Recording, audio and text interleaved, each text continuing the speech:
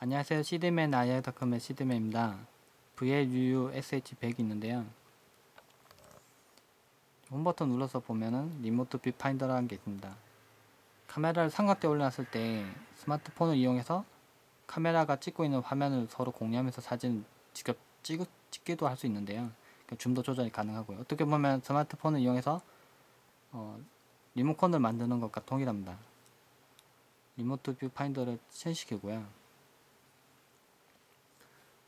스마트폰에서도 Remote Viewfinder를 실행시킵니다.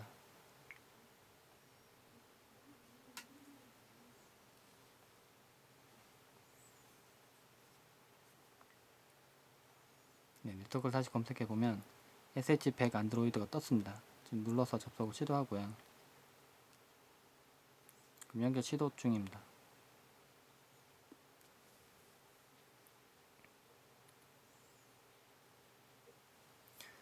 여기 화면에 보이는 게 지금 여기 스마트폰에도 보이게 됩니다. 지금 제가 카메라 움직여 보면 화면 움직이는 거 볼 수가 있죠. 네, 이런 식으로 찍을 수 있는데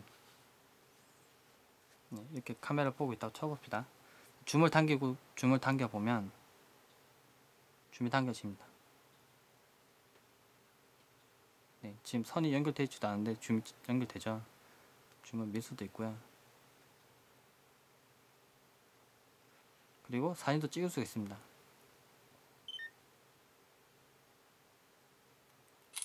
네, 촬영까지 했죠. 네, 이렇게 해서 삼각대 올려놓고 줌도 조절하고 사진도 찍을 수 있고요. 플래시도 제어 가능하고 시간 제한도 제, 제어 가능합니다.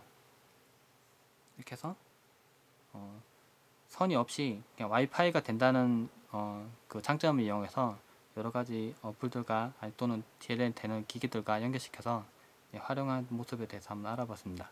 이상입니다.